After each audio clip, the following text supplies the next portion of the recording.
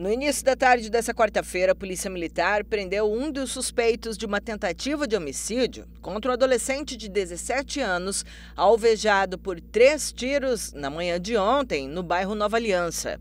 Segundo a PM, após a guarnição receber informações sobre a tentativa de homicídio, foram analisadas câmeras de segurança da região que mostraram um veículo de aplicativo levando três suspeitos até o local do crime. O motorista informou à polícia o endereço de partida dos atiradores.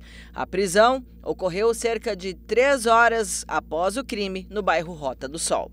As guarnições da Polícia Militar que está na Operação Vitai final de ano deslocou até o local né, e começaram as diligências, verificar vídeo monitoramento, tanto do Vigia Mais Mato Grosso, né, como das residências lá nas proximidades. E chegamos né, à conclusão que um veículo de aplicativo teria dado esse, teria deslocado com os criminosos até o local da ocorrência. Então nós chegamos até o condutor do carro do aplicativo e ele nos relatou né, que onde teria pego né, esses criminosos. Então começamos a fazer um monitoramento nessa casa.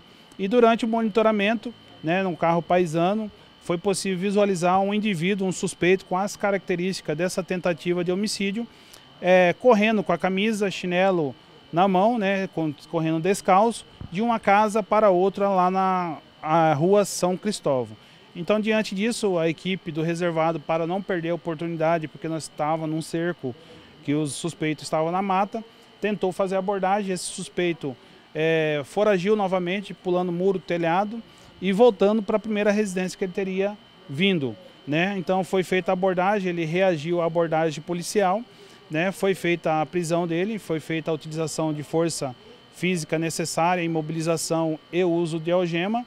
Deslocamos até a casa onde ele teria corrido e lá nós localizamos produto entorpecente e mais uma pessoa do sexo feminino que também reagiu à abordagem. O suspeito, segundo a PM, é membro de uma facção criminosa denominada Comando Vermelho e a vítima seria da facção rival Castelar.